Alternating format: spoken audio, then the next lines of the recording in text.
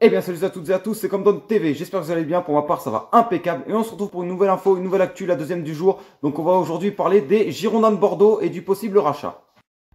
Donc comme certains doivent le savoir, les Américains se sont retirés du projet bordelais et le club de Bordeaux qui est tout proche du dépôt de bilan euh, à l'heure actuelle s'il n'y a pas d'investisseurs. Comme l'a révélé le journaliste anglais Ben Jacob, euh, un contrat, un lien existerait entre l'ex-propriétaire du coup euh, américain qui, s'est barré King Street, qui s'est barré de Bordeaux, et le potentiel nouveau propriétaire des Girondins de Bordeaux. Donc voilà, euh, il s'agit de Turkey Al Sheikh.